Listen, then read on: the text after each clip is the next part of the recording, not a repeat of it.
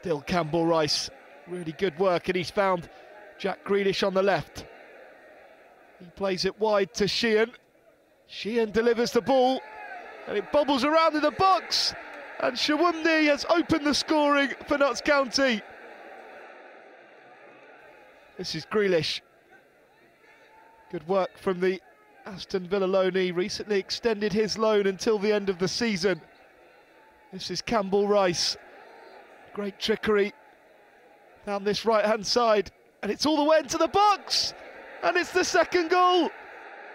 Ronan Murray makes it 2 0. 15 minutes gone here now at London Road, and Notts County two up already. And it looks like a little bit of an incident there with Murray, and he's been sent off. Grappling with Danny Swanson. He looks like he's lashed out with his right fist. Swanson, good work. Finds the ball to Little. Little delivers it in. And Nicky Ajose has made it 2 1. 10 man Notts County still with the lead, but Peterborough pressing now. Ball is delivered in, and a Assombalonga equalises for the home side. Assombalonga finds Ajose.